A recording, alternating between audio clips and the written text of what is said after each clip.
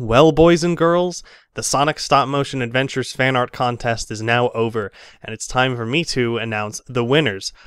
But I'm not doing that until the end of the video, so stay tuned.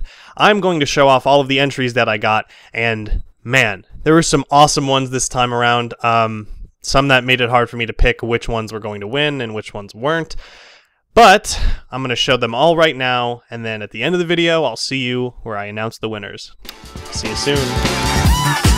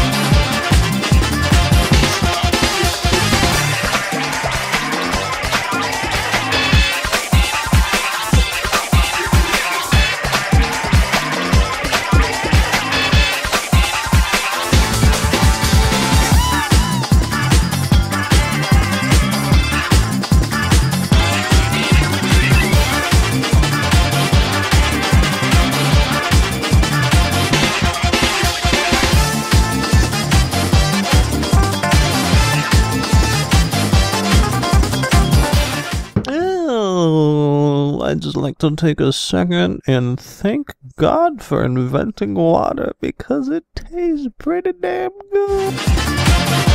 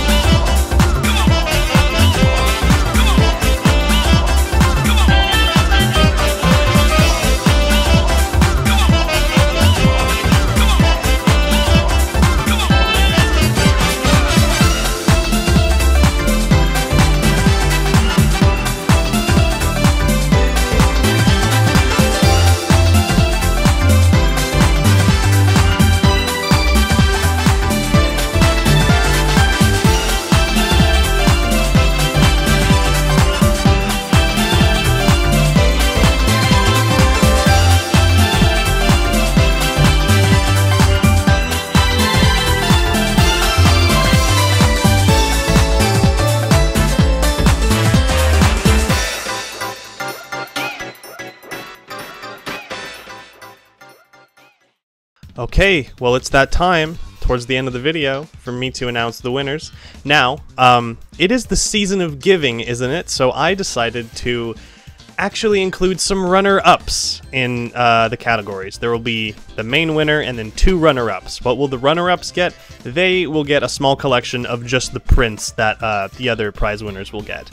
Because there were some that were like, man, I really want to give them something because this is such an awesome piece, but I can only choose one. So, Merry Holidays. Uh, I'm going to go through and say the winners for Poster, Moments, and Bedlam.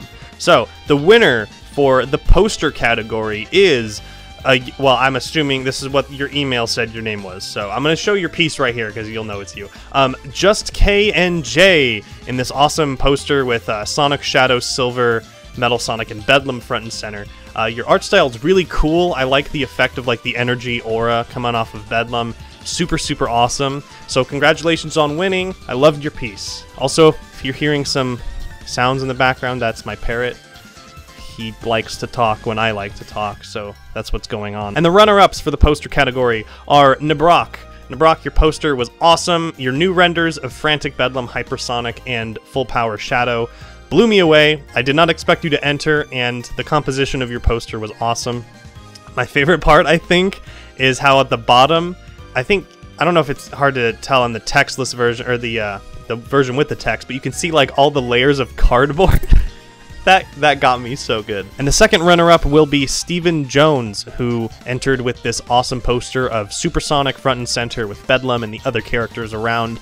It looks awesome. The composition and the colors, especially, really, really pop. I loved your piece. I know you entered a few other times, and all your other pieces were really awesome too. So I'm glad I was able to give you uh, something in compensation for them. Okay, the winner for the Moments category is Faulty M in their piece they titled Foreshadowing, which I gotta say I really got a kick out of because, um, you know, Bedlam is this character that's been observing these characters for pretty much the entire show, even though season one isn't canon.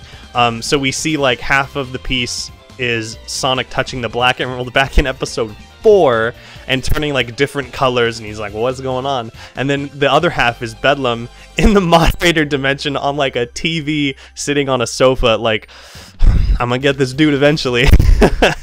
um, my also, I really like how um because um, the Bedlam figure was made from a repurposed Shadow, and Shadow's like quill that goes down uh, into like towards his forehead.